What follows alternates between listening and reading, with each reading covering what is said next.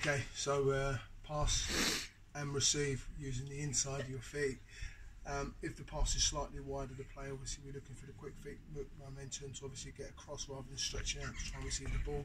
The dynamics of it is that we come down low, receive the ball, hands in adapt in the right position so we get good balance and making sure your whole body's behind the ball. Key thing is don't rush it, doesn't have to be fast, just as long as we try and get it right as fast as possible.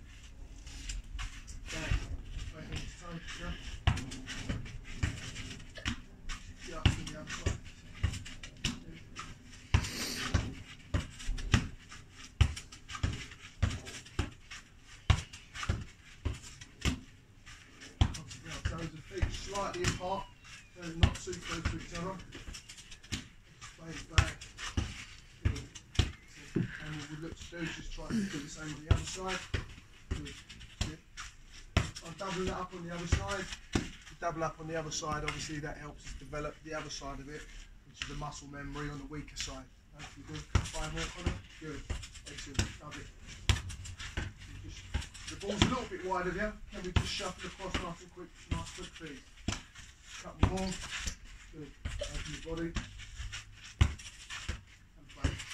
Excellent. So that's our pass and receive.